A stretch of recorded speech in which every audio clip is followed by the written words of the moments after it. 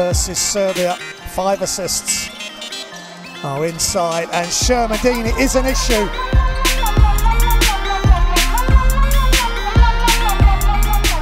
And they get the score as well. And Shengelia, it took a while for Switzerland to get a grip in this game. That's a wonderful pass.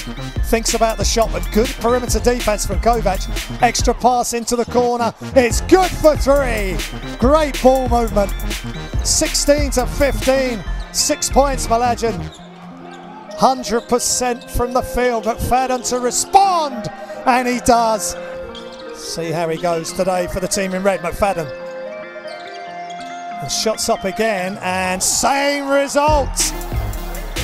Would have been a big moment. That would have tied the game for Switzerland. McFadden, still McFadden. Oh, great play all the way through.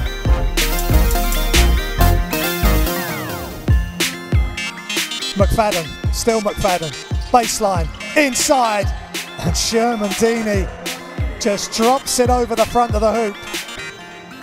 Excuse me, that's Switzerland. Georgia, 18 rebounds.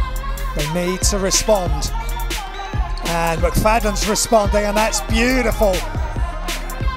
Talented Georgian team, and what a beautiful move that was.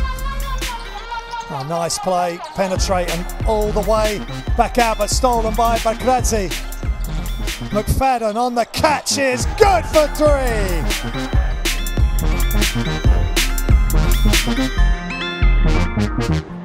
Providing a spark for Switzerland. They need that.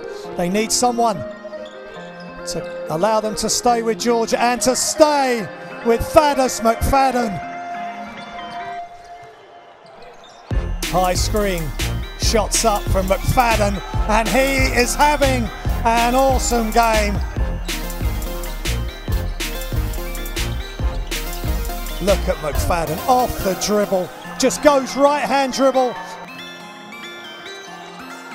And they somehow get the pass out to McFadden, and he makes the three. That is unreal.